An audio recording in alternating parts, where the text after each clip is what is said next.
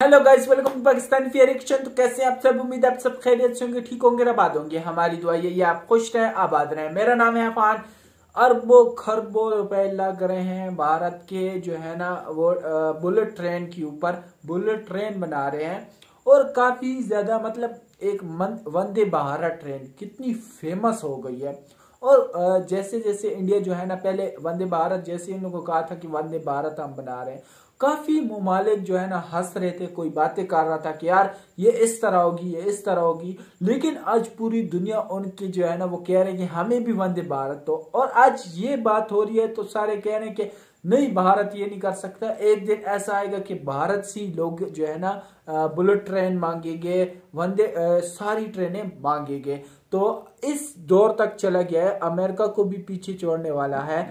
तो काफ़ी देश ऐसे हैं जो औरों देशों से ले रहे हैं। लेकिन भारत जो है, वो अपने देश के लिए भी बनाएगा और जो है ना और देशों को भी सप्लाई करेगा। मतलब इतना तेज़ी से ग्रोथ कर रहा है। तो क्या प्रोजेक्ट है? बिना किस तरीके काउंट करते हैं। Three two one and start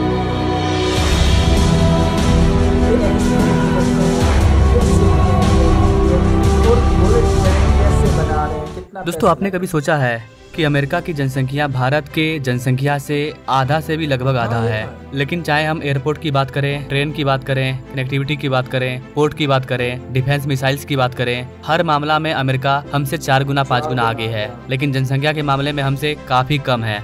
इतनी कम जनसंख्या के साथ भी वहाँ पर इतने सारे चीज़ अवेलेबल है। और आज भारत दुनिया का सबसे ज़्यादा पॉपुलेशन वाला कंट्री बन चुका है। और हमारे भारत में सुविधाएँ काफ़ी कम है। यही कारण है की भारत का बस हो रिक्शा हो या फिर ट्रेन हो हर जगह वेटिंग लिस्ट चलता है। आज़ादी के बाद से जिस रफ्तार में हमारा जनसंख्या बढ़ा उस रफ्तार से हमारा इंफ्रास्ट्रक्चर नहीं बढ़ा। लेकिन इन सब के बावजूद अपनी लाख खामियों के बावजूद भारत लगातार आगे बढ़ रहा है। पिछले दस सालों में हमने रोड नेटवर्क के मामले में चाइना को पीछे छोड़ा मेट्रो के मामले में हम बहुत जल्द अमेरिका को पीछे छोड़ने वाले हैं। ऑटोमोबाइल के सेक्टर में हमने जापान को पीछे छोड़ दिया है। इकोनॉमिक के मामले में भी हमने जापान को पीछे छोड़ दिया है और जर्मनी के पीछे लगे हुए हैं। एक दशक में भारत दसवें नंबर से दसवें नंबर से पाँचवें नंबर की इकोनॉमी बन गया। अब हर भारतीय चाहता है कि भारत जल्दी से थर्ड लार्जेस्ट इकोनॉमी बने। लेकिन एक और सवाल आता है गाइस कि बुलेट ट्रेन के मामले में हम कौन से देश को पीछे छोड़ेंगे? कब छोड़ेंगे? क्योंकि भारत में अभी एक भी बुलेट ट्रेन नहीं चल रहा है। लेकिन भारत सरकार का जो बुलेट ट्रेन को लेकर के प्लान है, वो काफ़ी खतरनाक है। और आज के इस वीडियो में हम लोग इसी खतरनाक प्लान के बारे में जानेंगे कि किस तरह से भारत सरकार भारत में बुलेट ट्रेन के लिए, भारत में कितने बुलेट ट्रेन को चलाएगी, कहाँ कहाँ पर चलाएगी, कितनों का डीपीआर तैयार कर लिया गया है, आखिर बुलेट ट्रेन का मास्टर प्लान क्या है, कितना टाइम लगेगा हमें, भारत के हर एक राज्य से, भारत के हर एक बड़े शहर से बुलेट ट्रेन को गुजारने के लिए। आइए जानते हैं इस वीडियो के माध्यम से। नमस्कार दोस्तों, मैं विकास और आप देख रहे हैं ऑल इंडिया प्रोजेक्ट।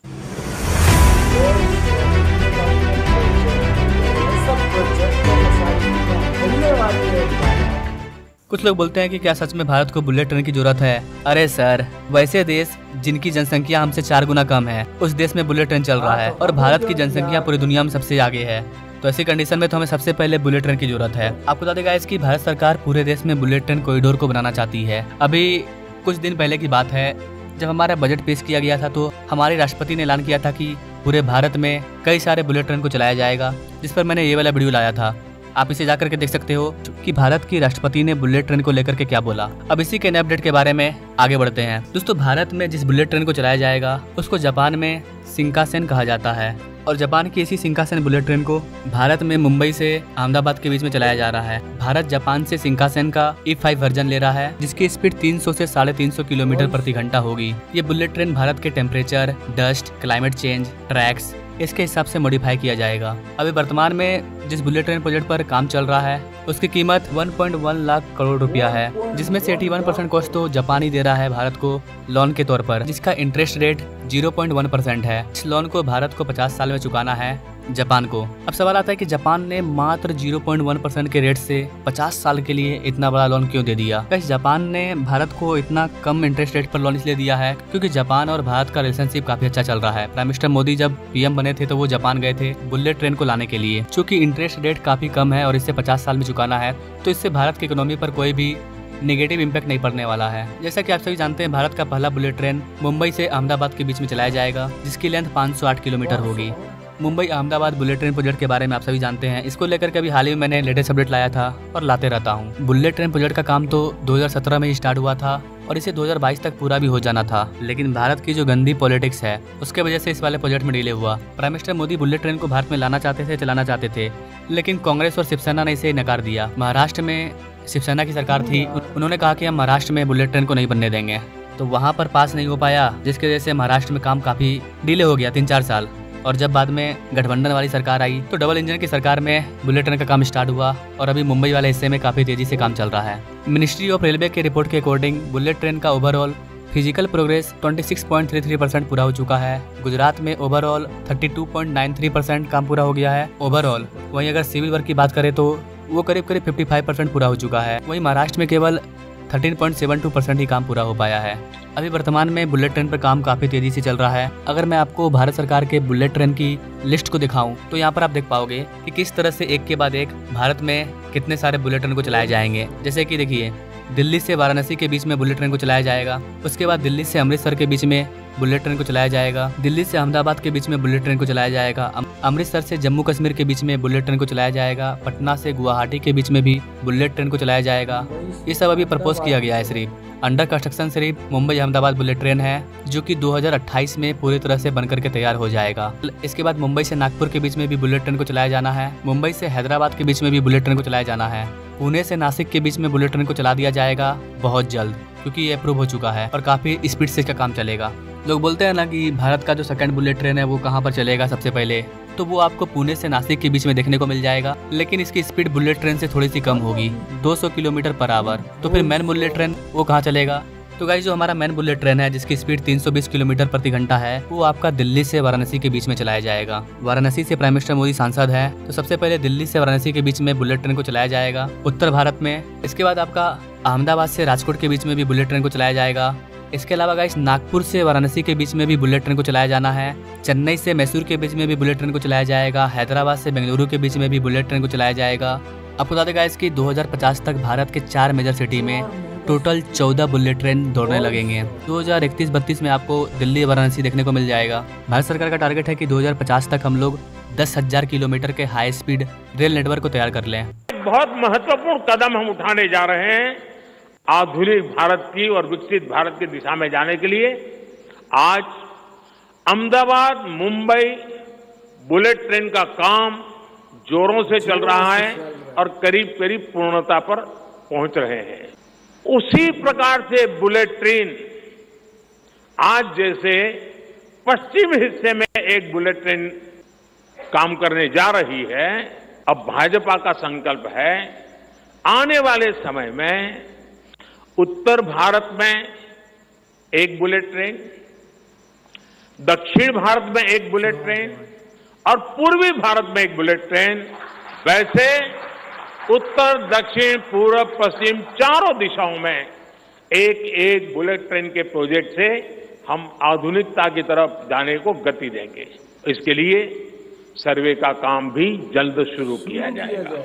अब आप सबके मन में सवाल होगा कि बुलेट ट्रेन तो अभी शुरू भी नहीं हुआ है और भारत सरकार चौदह बुलेट ट्रेन का सपना दिखा रही है। देखिए मैंने आपको पहले ही बताया है, ये जो चौदह बुलेट ट्रेन होंगे, इनको हम विदेशों से नहीं मंगाने वाले हैं।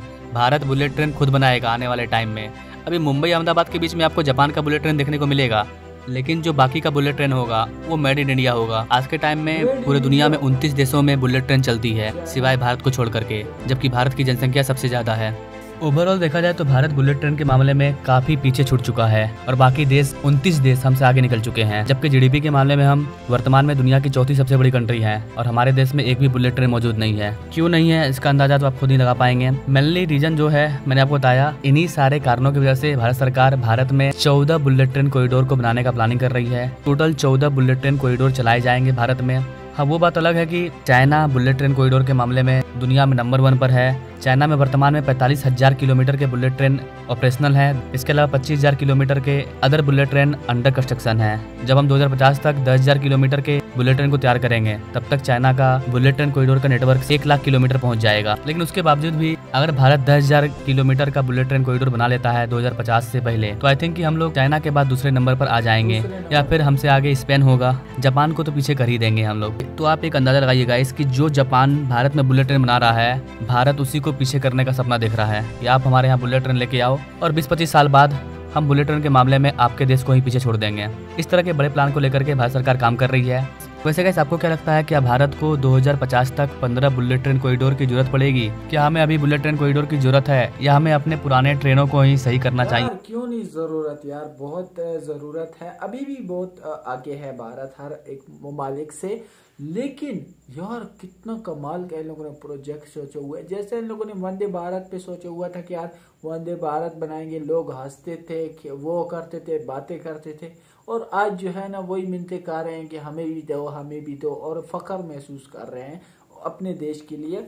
और ये अगर बुलेट ट्रेन अपने जो है ना ये इतना टाइम क्यों लग रहा है? ये मंगवा सकते थे और देशों से, लेकिन मेड इन इंडिया टाइम लगेगा थोड़ा सा लेकिन मेड इन इंडिया जो है ना, जैसे वंदे भारत है मेड इन इंडिया है इंडिया खुद बना रहा है।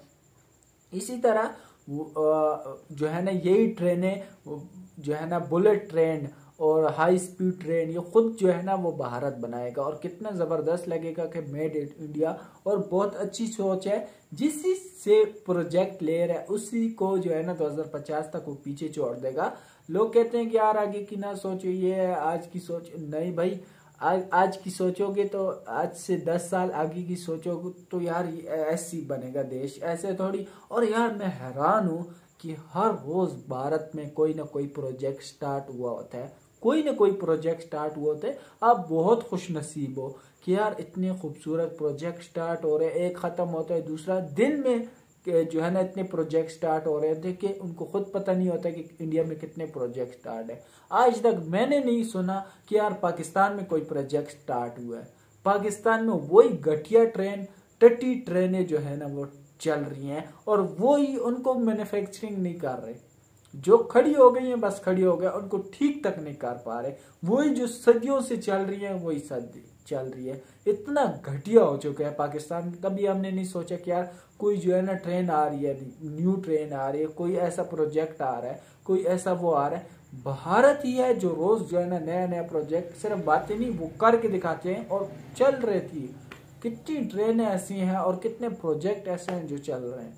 यार तो कुछ तो शर्म करो पाकिस्तानियों कि, कि कब तक जो है ना इतना वो करोगे कब तक जुलम करोगे। तो आपका क्या कहना है? कमेंट सेक्शन में ज़रूर बताएँ भारत से कुछ सीखो। तो आज के लिए इतने ही तब तक के लिए अपना ख्याल रखिएगा।